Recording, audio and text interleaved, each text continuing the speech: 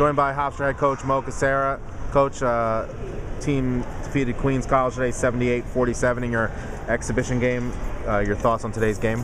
Um, you know, certainly, uh, you know, good opportunity for us to get out, put the uniforms on, be in our arena, play against somebody else. Uh, a lot of credit to Queens College. I thought their kids play hard and, and really, you know, uh, gave us a good fight.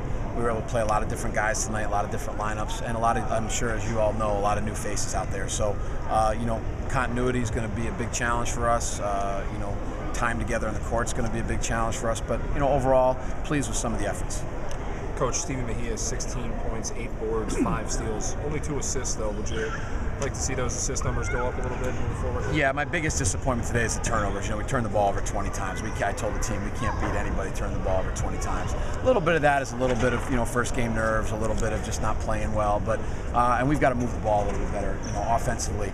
But I like what some of the things we did defensively. I thought you know a couple times we changed pace on defense, and you know we kind of took them out of the game.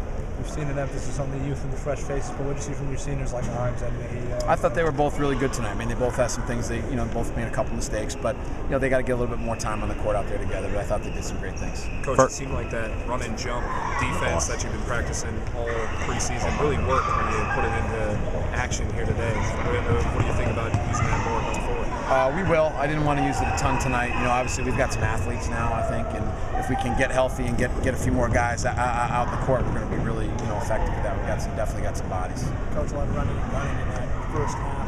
Uh, at the same time, transition defense had some holes in it. Forced a few turnovers, but then turned the ball back. What did you see in that transition defense?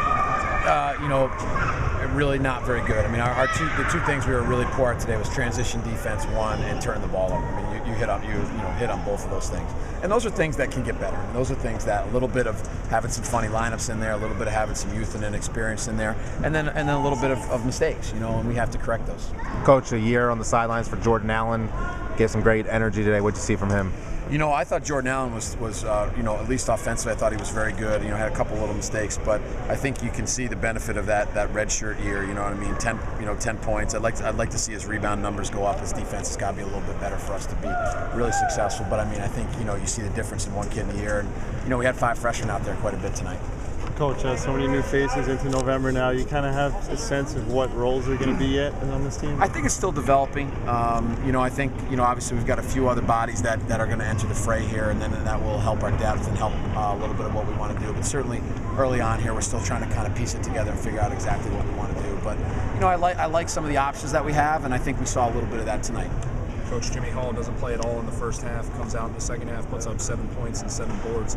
What you see that you like from him in the second half of play? Well, I think you can all see he's very talented. I mean, he's you know he's one of those guys. He doesn't jump real high, he doesn't run real fast, but he's got long arms. Just kind of knows how to play. You know, obviously, a, you know, product of a very good high school program. Um, he's got to develop. Uh, he's got to develop a little bit more mental toughness on and off the court. And if he continues to grow up, I think he could be a great player here. Six days before Monmouth is the team where you'd like it to be.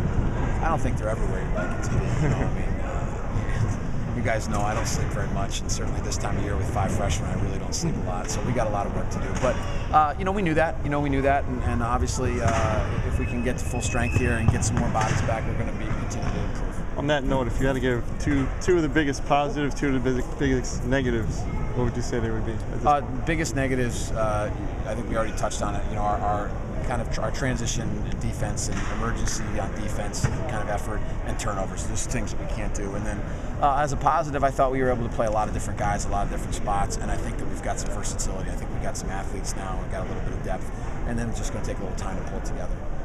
David on with 13 points, knocked down two threes. Seemed a little more comfortable outside of the paint, around perimeter and the mid-range. Is that more of an expanded offensive game we should expect from him this season? I hope so. I mean, you know, he's he's a senior. He's been through it a lot. You know, I thought he made some shots. He actually missed a couple. I think he missed two or three layups. You know, around the basket.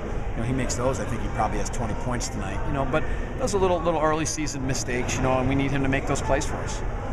Between the debate and the weather, be able to, been able to build any kind of routine for the guys yet, or are you still that point of trying to get them into a weekly type of? Yeah, it's been tough, Jerry. You know, I mean, we've talked about a lot. I mean, I just think that you know, with a new team, you know, continuity is really important. And today, you know, it's just you know, just getting in the locker room kind of for the first time is important. You know, we've been out of our offices, out of the arena, we've had a hurricane. It's been a, a real challenge. But you know, the kids have been resilient. We just got to kind of fight through that. And I think, you know, uh, I think this is going to be the type of team where, you know, early on it's going to be a, a struggle a little bit up and down as we saw today. You know, some really good things and some not so good things. But I think as we move forward uh, and get some more time together, we're going to be pretty we're going to be a pretty tough team. Thank you, coach. Thank you.